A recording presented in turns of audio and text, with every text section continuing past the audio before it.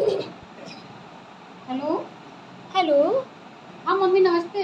नमस्ते बेटा और बताओ? हाँ मम्मी ठीक है। सब बढ़िया है? हाँ मम्मी सब बढ़िया है।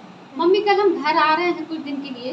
रक्षाबंधन की छुट्टी हो गई हाँ है मम्मी दो दिन के लिए आ रहे हैं। अच्छा बेटा जब आओ तो बता देना। हाँ मम्मी कल निकलेंगे तो आपको बता देंगे। सुने लखनऊ में साड़ियाँ बहुत अच्छी मिलती हैं।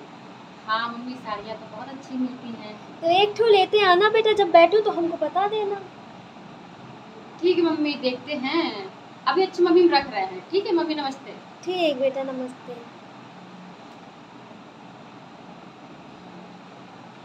पैसे हैं नहीं साड़ी कहाँ से ले जाए? कुछ समझ में नहीं आ रहा है।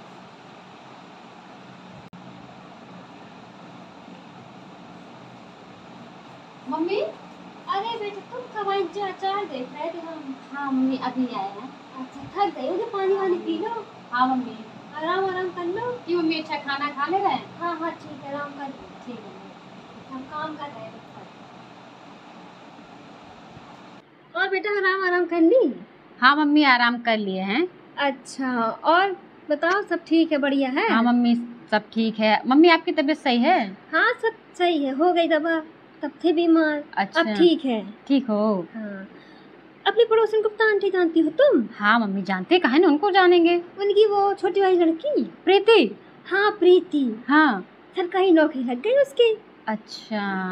हाँ और जो अपनी बर्मा आंटी का लड़का वही हाँ। बीच वाला? हाँ। वो भी पुलिस में लग गया अच्छा। हाँ और लेकिन गुप्ता आंटी की लड़की प्रीति। हाँ।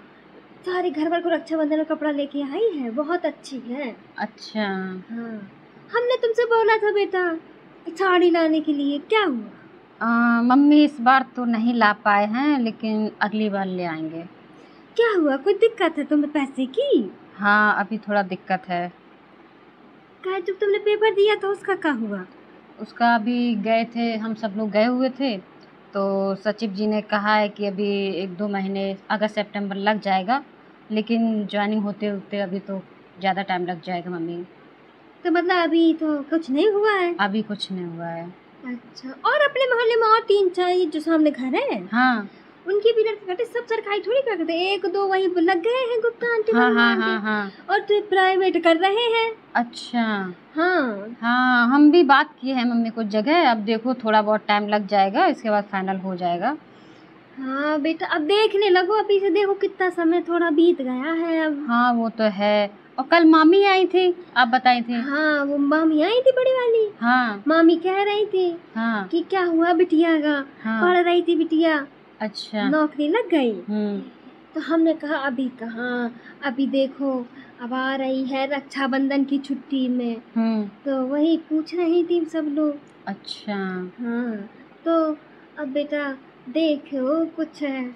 मम्मी थोड़ा और टाइम लग जाएगा आप परेशान ना हो हम प्राइवेट भी देख रहे हैं। नहीं थोड़ा हाँ बेटा परेशानी की बात नहीं थोड़ा ये है कि अब इतना समय बीत गया अब हम लोगों के पास इतना नहीं है हाँ ज़्यादा समय तक हम्म, देख लें। समझ रहे हैं समझ रहे हैं। हाँ तो वही है अपना। देख लो अच्छी जगह कहीं देख लो जहाँ तुम्हें पसंद आए। ठीक ठीक मम्मी। ठीक मम्मी आप भी आराम कर लीजिए। हाँ हम कर ले रहे अभी तो काम अपना- करते करते थक गई होंगी। हाँ ठीक तुम अपनी पैकिंग निकाल के रख लो और अपनी देख लो पढ़ाई वढ़ाई है। ठीक है। आपने देख लिया कि एक नौकरी कितना ज़रूरी है। आप घर जाएँगे तो नौकरी के बारे में पूछा जाएगा। आपके रिलेटिव भी आपसे नौकरी के बारे में पूछेंगे।